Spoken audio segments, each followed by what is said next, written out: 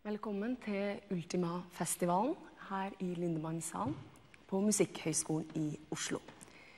Ultima-festivalen er jo en samtidsmusikkfestival. Og du, Jon Persen, du er festivalsjef. Og hvordan hadde det seg at en dansebandmusiker fra Porsanger av samisk herkomst ble interessert i samtidsmusikk? Det, det, kunne bli en veldig lang historie, men eh, jeg skal gjøre den relativt kort. Altså Min bakgrunn er, som du sier, eh, dansemusiker. Dansebandmusiker fra, fra Finnmark. Mm. Reiste rundt og spilte på lokaler og sånt. Måten vi lærte nytt repertoar på, var å lytte på NRK. Kurer batteridreven reiseradio. så lærte man låtene, mm. og så uh, lærte vi, så spilte vi det på lokalet etterpå. Eh, 22.9.1961 visste jeg at det skulle være en uh, sending med ny musikk fra Warszawa. Og da Det var midt under potetopptakinga, og jeg tenkte at dette må jeg få med for å lære noen ny, nye låter til neste lørdag.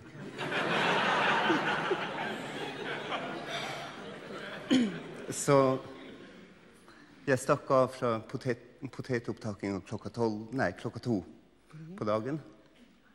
Måtte gjøre det sånn at uh, foreldrene mine ikke oppdaget det fordi at det var ikke lov å høre på radioen i vårt læstadianske hjem. Mm -hmm. Så kom jeg inn og slo på radioen. Og det jeg fikk høre, det var altså opptak Jeg husker ikke nå hvilket verk det var, men det var opptak fra Warszawa nymusikkfestival. Mm. Og det gjorde sånn enormt inntrykk på meg at jeg bestemte meg at før eller senere så skal jeg bli komponist.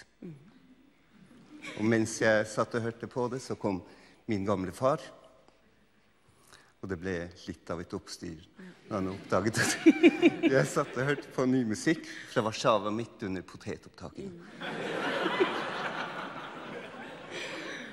Det eneste som var tillatt å høre på radioen hos oss på den tiden, det var uh, værmeldingen klokken ti på ti om kvelden. Ja. Men du flytta i hvert fall fra Porsanger ned til Oslo i 68. Og hvordan var møtet med samtidsmusikken for deg da? Altså, da hadde jeg, Etter 1961 så begynte jeg å følge med hva som foregikk innenfor europeisk samtidsmusikkliv. og Jeg hadde bl.a. registrert et fenomenalt ensemble fra Warszawa som het MV2. Når jeg kom til Oslo, så uh, så jeg at uh, det skulle være konsert i regi av ny musikk på ABC-teatret med MV2. Mm. Og da tenkte jeg at å herregud, her må man stille tidlig opp for å få tak i billett. Det var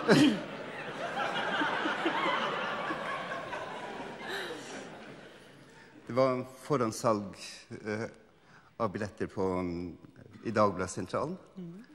Så jeg stilte opp klokken tre om natta. For å, for å stå i kø for å få min billett. Og der var det mange? Jeg sto til klokken ni, og det kom ingen andre enn meg. Og jeg fikk min billett. Og når konsertdagen kom, jeg tror det var 8. januar, eller noe sånt, så gikk jeg på ABC-teatret en time før konserten begynte, og fikk min plass på første rad. Og satt der i omtrent en time og venta at de andre skulle komme. Og fem minutter etter at konserten skulle ha begynt, så kom det tre eldre herrer og satte seg helt bakerst i salen. Etterpå fikk jeg vite at det var Klaus Segge, Finn Mortensen og Kjell Skylstad. Kritikere. Ja. Kritikere, altså. Også, ja. På bakerste rad. Og så var det vel kanskje en eller et par stykker fra, fra ny musikk. Mm. Og Jon Persen på første rad. Ja. Mm. Og det var en fenomenal konsert. Mm. Jeg kommer aldri til å glemme det. Nei. Og de hadde Jeg tror det var fire to kilos poser med hvitbønner som inngikk i programmet, de, skal, de, var beregnet på å slenge ut over hele publikum på slutten av konserten. Og i og med at jeg var den eneste Så fikk du fire kilo hvite bønner over deg? Ja. ja. Så da skjønner du hvorfor jeg driver med det her. Ja.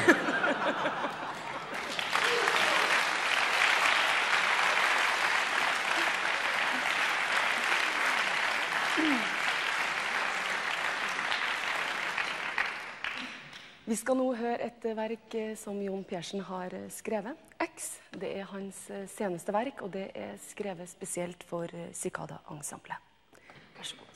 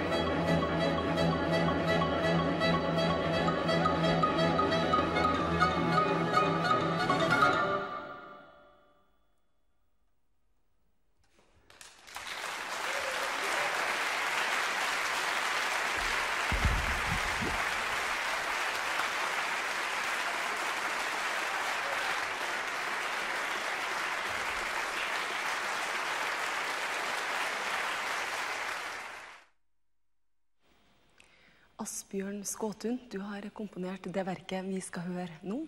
Our whisper woke no clocks. Du har tatt utgangspunkt i et eh, dikt. Skriver du musikk til ord? Nei, det tror jeg er viktig å få med seg at dette er eh, Jeg er litt opptatt av lyrikk, og jeg leser en god del, men jeg, jeg setter veldig lite musikk til eh, teksten, eh, altså som sang, f.eks. For eksempel. Fordi at eh, for meg så er et godt dikt nok i seg selv.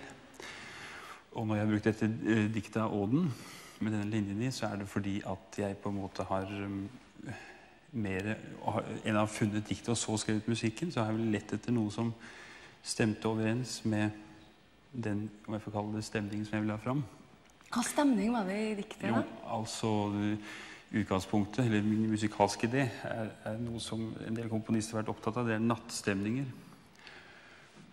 Og dette diktet har veldig mye natt i seg. Det handler om to mennesker som kommer til en, en, en, slags eh, uteliggerstasjon. Altså en stor hall som ligner på en jernbanehall. Og denne på en måte stillheten uh, mellom disse menneskene som da ikke engang får klokkene til å, til å Man vekker ikke engang klokkene med hvisken som er da mellom disse to menneskene som tydeligvis er eh, kjærester på et eller annet vis.